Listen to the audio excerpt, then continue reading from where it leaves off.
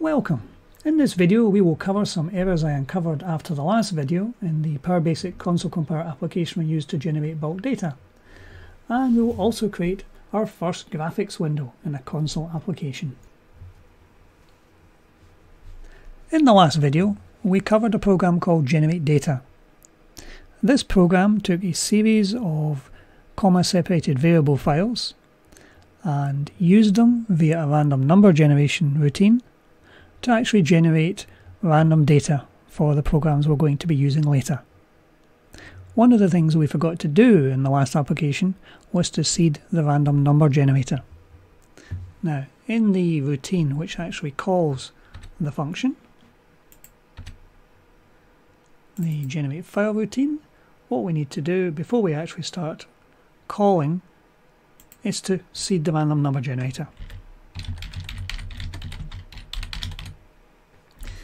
Now, when you use the randomize command, it has one single parameter. Now, if you give it a number, it means that the sequence of random numbers that you get will be the same each time. So if you seed it with the number 1, each time you run the program, you will get a series of pseudo-random numbers, but they will always be in the same sequence. If you use the timer function, it will return the time in milliseconds the clock on the machine is actually sitting at, and therefore every time you run the program, the random number generator will be seeded with a different number.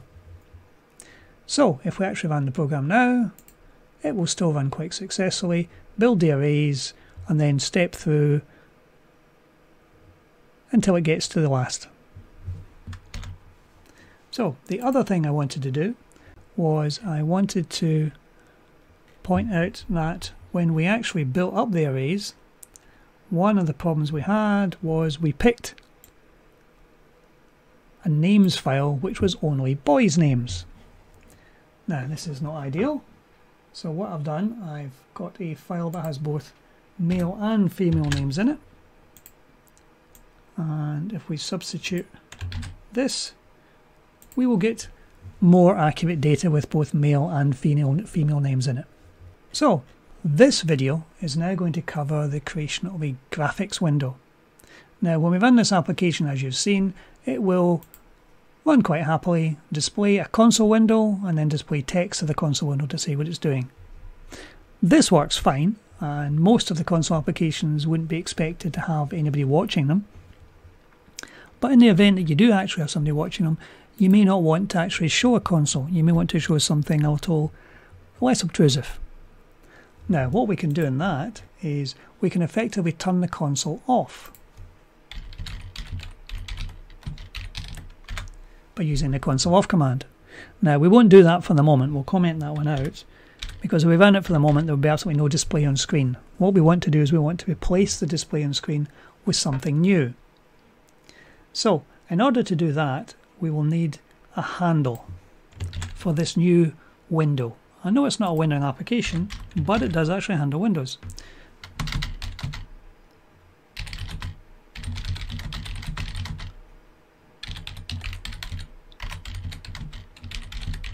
So what we've done is we created a D word, which is a double word, to store the handle of the console with the graphics window we're about to actually create. Now, as well as doing that, we want to make our program a little more flexible at the moment, it runs from 1 to 1000. So basically, every time you run it, it will be 1000 iterations. Now, if we want to change this easily, without having to know when the program actually is, we're going to put it in as a constant. Um, we're going to declare that constant up at the top with our other constants. There we go, 1000 records. Now, for the creation of our console window, what we want to do here is we want to go down to our main program here. This is where we're setting the console that exists at the moment.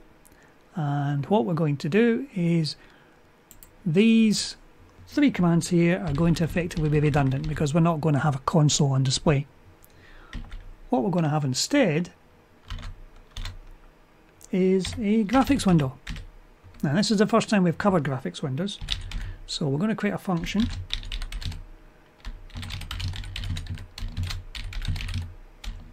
to create the graphics window. And in this function will be all the information we actually need to create it.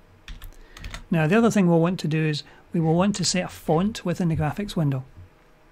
And to do that, we want to create a, or we want to reference a new font. Now this can be any font you like, but in this case we're picking Courier New. Uh, we want it to be 18 point. Now there are a number of other parameters you can actually have with fonts which you can find out from the help file. Inside here, font new gives you the font name which we've given it. We've given it the point size. The style is normal, bold, italic, underline, whatever, so we'll just pick normal. So we'll go for a zero. Uh, the character set after that can either be ANSI or the default one or any of the other types of character sets that Windows supports. I think we'll go for the uh, the default one. Um, the pitch again is depending how you want to actually set the font on screen. Again, we'll probably just go with the default. And the final parameter is escapement, which is basically angle in tenths of degrees. Again, we'll go for zero here because we just want ordinary text. So if we put those parameters in,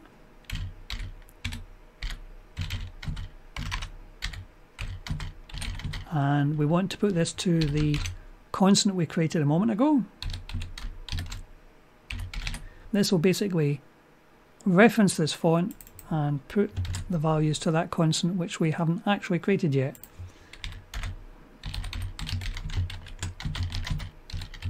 So we'll create that as well. This is so you convert to anywhere else in the program. Right, so we get two new globals one for the handle of the graphics window, one for the font that the graphics window is actually going to be using. Now, we haven't actually built our function yet, so that's our next task.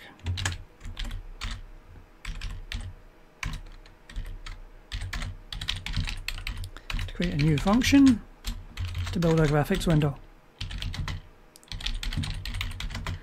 Now, the purpose of this function is obviously to set everything up that we actually need for the graphics window.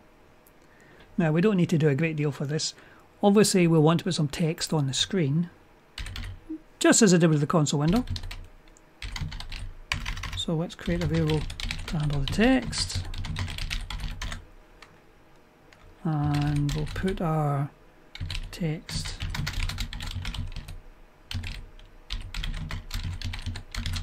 just as something fairly generic. Now, this is where we want to actually create the graphics window. So there are a large number of commands you can actually do with the graphics window. But basically, you say graphics window to create the window. You give it the text you want on the title bar of the graphics window.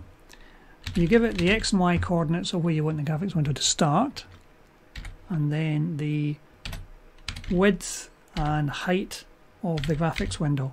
We'll just go some fairly small numbers for the moment.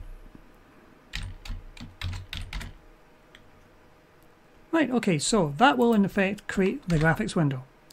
We haven't put anything in it yet, and we haven't referenced it. So we need to attach the graphics window. And in here we'll have a quick look at the graphics commands graphics attach.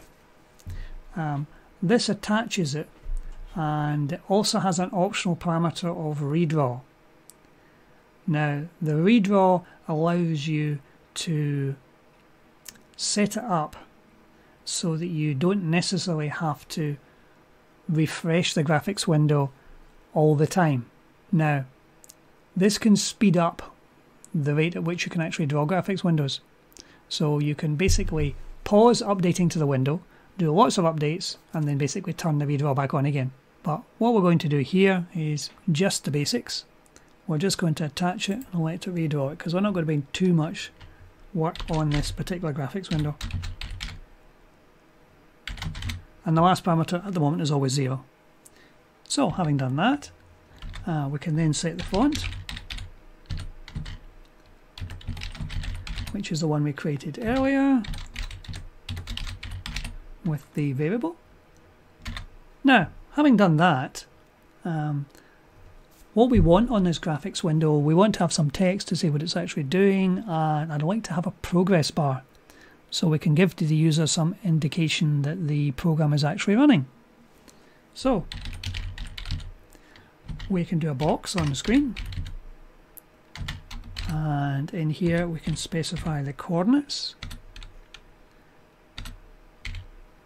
Obviously you don't want to go outside the graphics window you were we've originally drawn. Let's try these.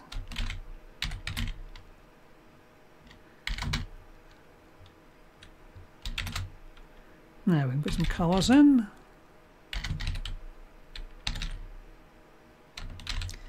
And let's go for...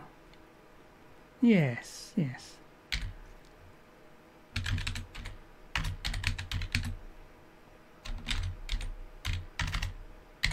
Right, let's try that.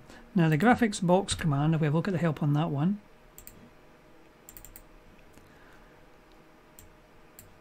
upper left corner of the box, lower right corner of the box, which is specified. The 20 we put in is the percentage of roundness of the corners. Again, so you don't have to draw a box, it's got right angle corners. Um, the colour of the box edge, which we put in, and the optional fill colour, and then the fill style. So what we've put in, there we go, we're going for default, which is a solid fill. So basically the number we're going to do for the fill color is going to be basically red when we actually draw a line. So if we actually ran this now, uh, it would run through quite happily. Um, it would. We haven't turned the console off yet, so let's try a quick compile to make sure we've not done anything wrong. And yes, we have. Oh, we didn't put an as. Yep, it quite correctly noticed that the function did have a return value. Right, and we're running. Now there's our graphics window on screen. Now it's not actually doing anything, all the work's happening behind it. But our graphics window is displayed. On the screen says generating data at the top. The window's completely white at the moment, but our box has been drawn at the bottom. So what we need to do is populate some text into the box and also draw the progress bar as it actually proceeds. When the application finishes, the graphics window automatically closes. So now we've got a graphics window in place, we can then go back to when we actually generate the file.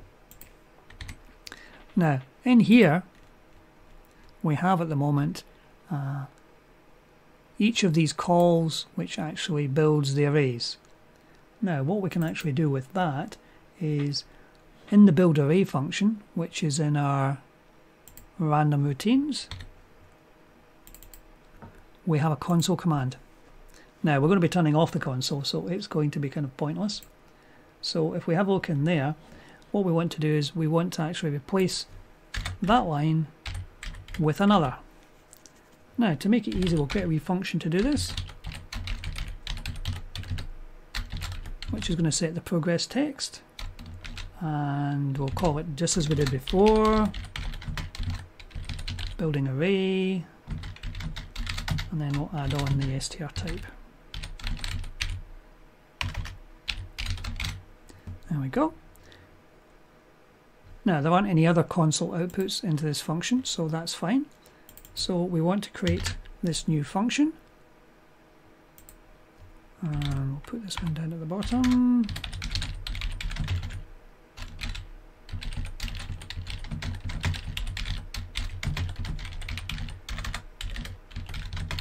And this function is going to create the text in our graphics box.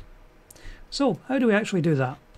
Well, set the progress text. Now we want a variable to actually set whether it's actually going to be drawn. Now normally you would set your variable up as this. A local variable which effectively every time the function gets called it gets reinitialized and then you can populate it. Now what I want to do here is something a little different. You can use the static keyword. Now when you use the static keyword, when the first time you actually come into this function, this variable which is a long would be zero. If you set the value of that variable, and then the next time you come into the function, it will retain the value it had the last time it called the function. So the variable is persistent, which can be very useful. Because what we're going to do here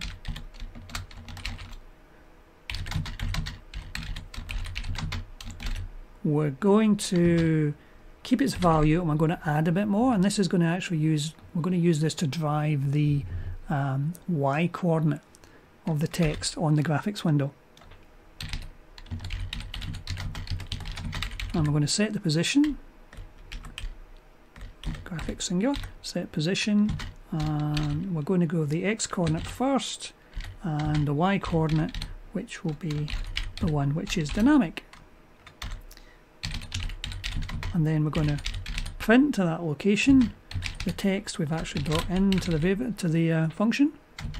And we'll add on to the end of that. Yeah we'll add on into that some spaces just in case we want to reuse and overwrite just enough so that it's long enough so it always gets overwritten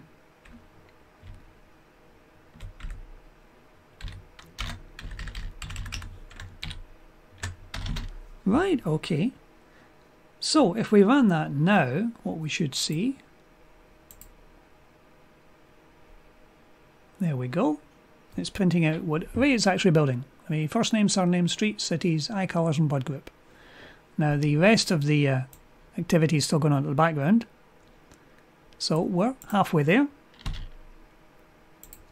So what's the next thing to do? Well, in our generate file. Once we've built the arrays, which we've handled quite nicely, we have this for next loop. Now what we were doing before was we had the construct in here where we were every 200 rows we were printing something out to the console. Now we don't want to do that so we're going to take this bit out completely and we're going to replace this with something that actually draws the progress bar.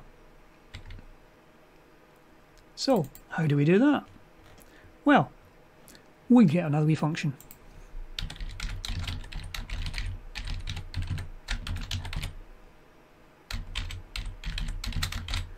We're going to create a function called set progress bar and we're going to pass it a parameter which is the row it happens to be reading which if this max records is 2000 it will be somewhere between 1 and 2000 and we'll set the progress bar accordingly.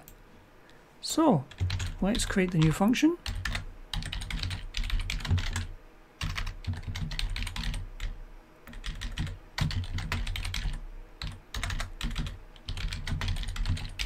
Now one thing you have to be careful to do in a for next loop is not make any change to the long r variable inside the function because since it's passed by reference and it's a for next loop in the calling routine, if you make a change to it here you'll be changing it in the calling routine as well. Always one to watch out for. So what we want to do then is set the progress bar. So what we want is a variable that is independent of long r. So create a local variable called long value. Now, we want a test on this just to make sure it's not bigger than the maximum. It should never ever be, but let's do it anyway. It's always good to put validation into your code.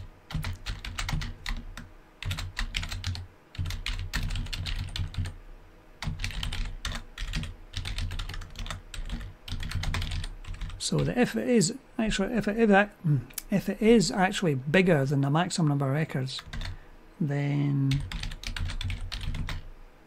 we will make the long value equal to the maximum, so it can never exceed it. Otherwise, it will quite happily take the value it's given. So that stops anything at all breaking our limit. Now, we want to work out the percentage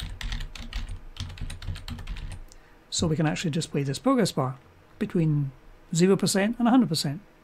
So we'll create a variable that's going to hold that value.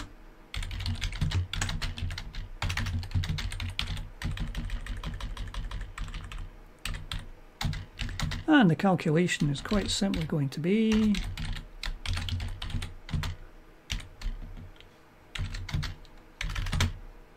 Let's just paste this in so I don't do a typo on it. Standard calculation for percentage.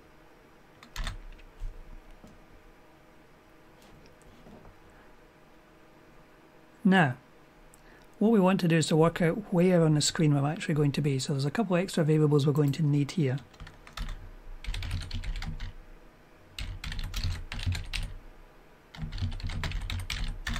We use a long start to work out where we're actually starting on the console window itself. We knew that the box was driven from position 15 so we'll go for slightly inside that. We'll say 17 and we also want to have a variable to keep track of the top value. And this is the y coordinate on the screen. And we'll say that's 500 and we've already got the percentage ones done. Okay. Right okay. So to work out where we are on the screen, we want to make that equal to the top value multiplied by the percentage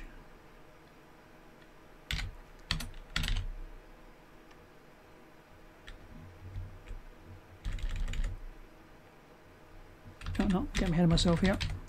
Ahead myself here. Now we're doing integer division. If you use the slash the other way, it divides it but doesn't give you any um, decimal point which is quite useful because what we want here is a whole number so what we're doing here we're going to get into with a number which is going to be a pixel count plus adding on to the long start which is perfect now we want to do we want to do a, a box inside the box we've already drawn which is basically our progress bar so again, it's a graphics box command, box command. And in this case, we want the long start, which we've just calculated. 442, which is our position on screen.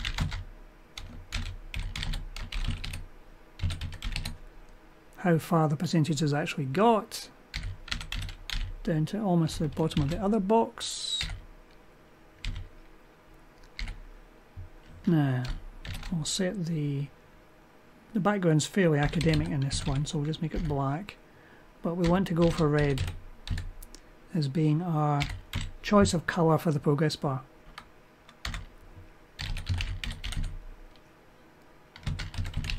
and what we'll also do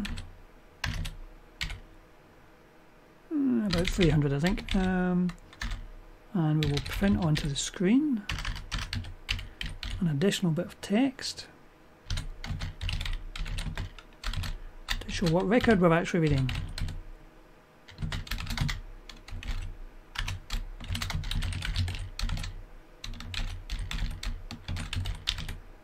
There we go, so that should put the word record followed by the number. And since we know what our maximum is, we can put of the maximum of records. So it will be 1 of 2000, 2 of 2000, and so on.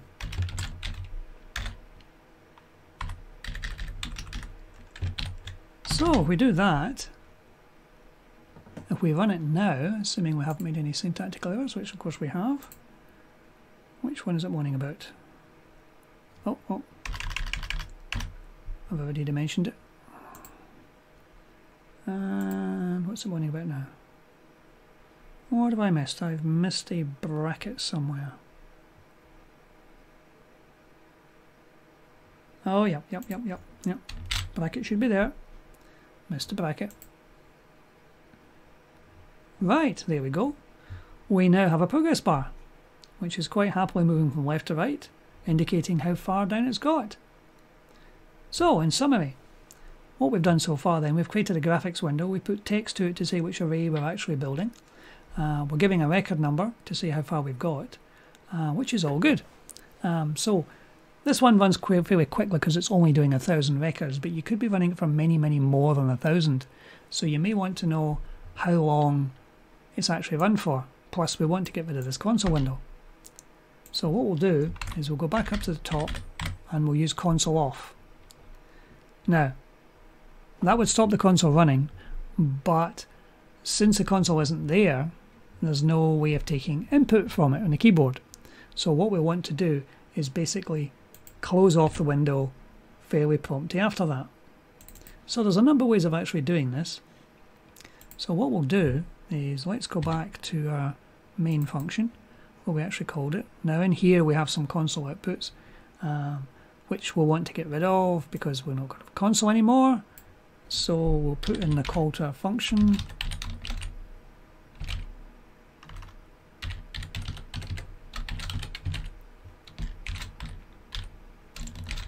There we go. Uh, just on the off chance that it errors. And rather than this one down here saying any key to exit, we'll take these two lines out and we'll put a little message on screen. Something along the lines of it auto we'll make it actually auto exit in 10 seconds just be using the sleep command we've used before, which is expressed in milliseconds, so we need to go for 10,000. So if we run this now, it will run quite happily. It will display everything to the console, everything to the graphics window. There will be no console window, and it will exit in 10 seconds. So we try running that. There we go. There is no console window. There's a graphics window. It'll run quite happily, and in 10 seconds it'll disappear. So we'll wait the 10 seconds. Now, if we were running a large number of records, it could take a long time to actually generate them. There you go, it's disappeared after 10 seconds. So what we want to do is we want to put something additional in place. We want something that will actually work out how long it takes to actually run the program. So I'm going to create another global, in this case another D word, and we'll call this start and rather than a D word now we'll call it a double. We'll go for a double. Double variable. And this is going to be a start time. Okay. So when the program actually starts to generate down here in our generate and our generate file. What we will do in here before we actually do anything is we will use our timer again.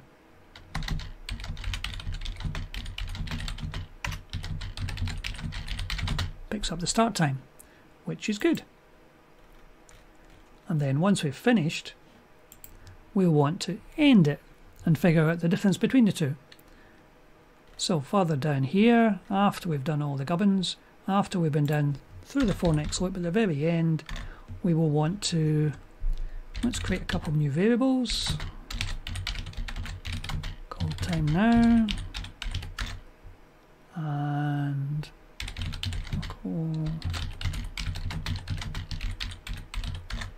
and what we're going to do now is time now I'm going to pick up the timer to pick up the time now.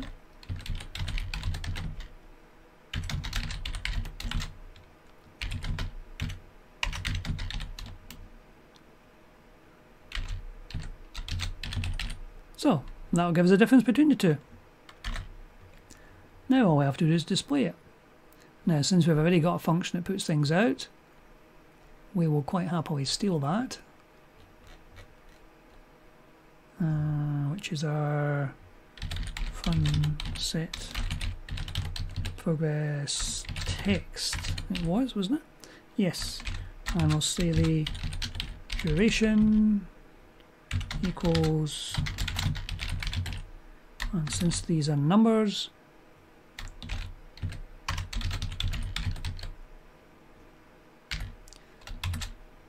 and just enough chance. One of the things you can do with the format command, which we haven't done so far, is that you can actually format numbers in nice, easy ways of looking. So if we put that format command in, that will basically give us a comma. So we can express thousands or millions if it takes that long. I doubt it will, but let's try it anyway. And then print seconds. So if we run that now, let's try that. There we go. It's running away quite happily. Gets to the end. Boom. Six seconds. Perfect. So it tells us how long it took to run it. So in six seconds we generated a thousand records. So I think that completes our video today. Thank you for watching.